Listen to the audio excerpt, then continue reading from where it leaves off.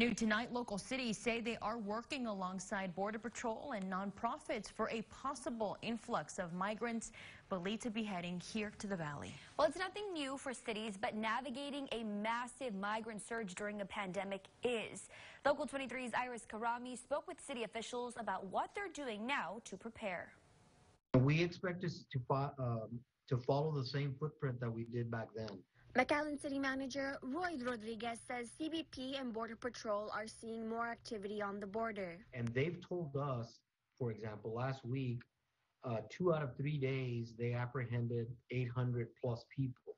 But this isn't anything new for McAllen because besides the airports, Is that they're finding the nearest bus station to to send the immigrants to, and that happens to be Brownsville and McAllen. It's the only two really that have city-owned facilities uh, with transportation out of the valley. what is new, however, is managing COVID. Rodriguez says they have contacted the governor. We want the testing so that possibly we can test the immigrants before we introduce them to a facility. And we want the vaccine for the for the volunteers that are having to help transport. According to the nonprofit Good Neighbor Settlement, asylum seekers recently released are staying in hotel rooms because shelters are closed.